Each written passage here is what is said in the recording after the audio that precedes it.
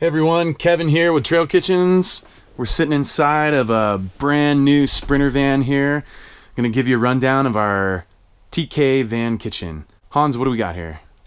Well, first of all, the goal was to create a completely self-contained unit. So we have electrical system, which includes a pump switch, a voltmeter, a charging port.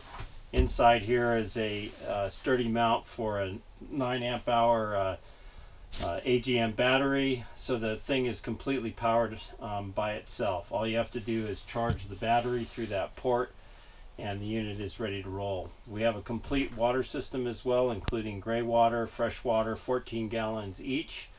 Um, there is a 45 psi pump, three and a half gallons per minute. We have pulse action. We have regular faucet action. There's a shower feature that you can use outside the van or inside the van. If you need to fill bigger vessels, you can pull that out. Um, and then our integrated camp kitchen with the integrated stove in it is also part of this unit and is quickly removed um, from the from the uh, van itself. You can set this up outside or you can use it inside. Um, the tops come off with these four screws. Typically grab these, put them in our pocket, remove the lid which has a hanging table. This provides a secondary work surface if you just want um, a quick prep there. We have a 40,000 BTU Camp Chef Everest stove integrated into these units. Um, piezo lighter. The uh, propane hookup is actually on the right side here. So you take the regulator, slide it on. You can hook up now to bulk propane or to a one pound bottle. And one of the key features to this unit is the ability to completely remove the camp kitchen from the van, set it up outside, and have a spacious workstation outside the unit, which most people with vans prefer is to cook outside. There's a utensil drawer um, for all of your utensils and cooking utensils. Spacious compartment for the rest of your camp gear.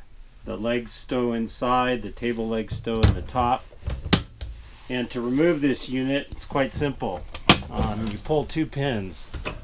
One pin in the front, one pin in the rear, and now the unit can be completely removed.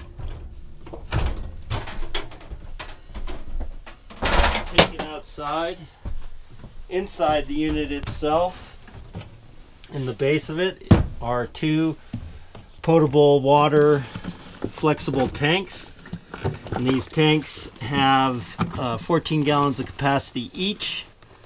Mounting can be either through through bolts and brackets, and we also have a specific configuration for sprinters that utilizes the D-rings in the floor for two of the three uh, mounts that lock the whole main unit down to the van floor.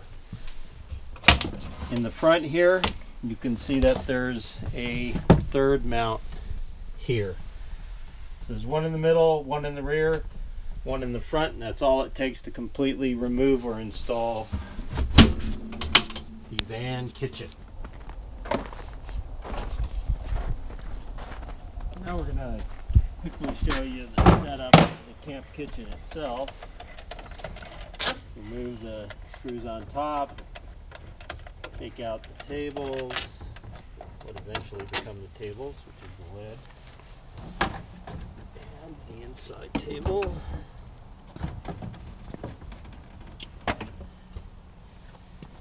And then what we're going to do is put the legs on next.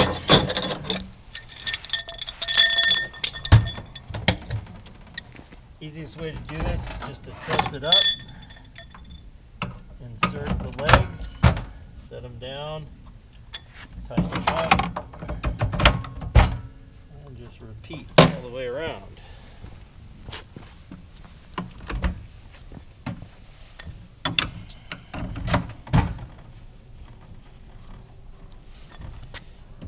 Tighten those knobs. The legs can be adjusted for uneven ground. We're going to take the table legs.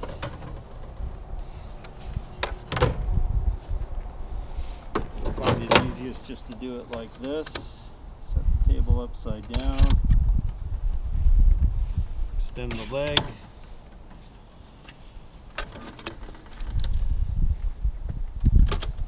And now we can use same knobs for connecting the table to the main unit.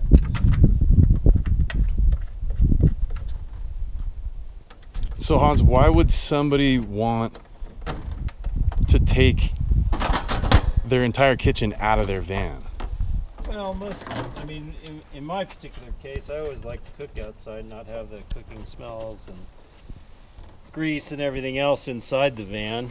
And you get a lot more space, obviously, outside the van for cooking and milling about. And that's why we all camp, anyways, right? Is to stay outside, not inside.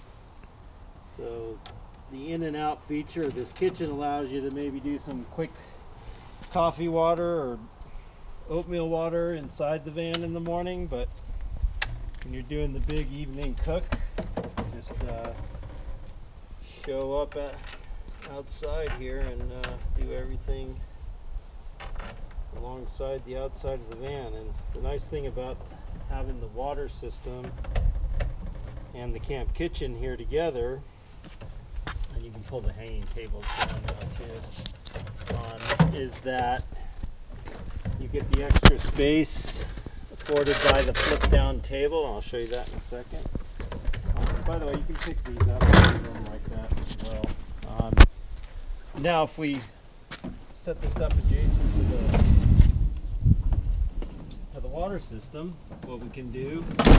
By the way, this is uh, showing it using an outside water source. This could be actually a hose into another tank or to a jerry can that's shown the idea is that not only do you get the 14 gallons inside the unit itself, but you can add additional water if you run out or if you have friends that want to take showers, etc.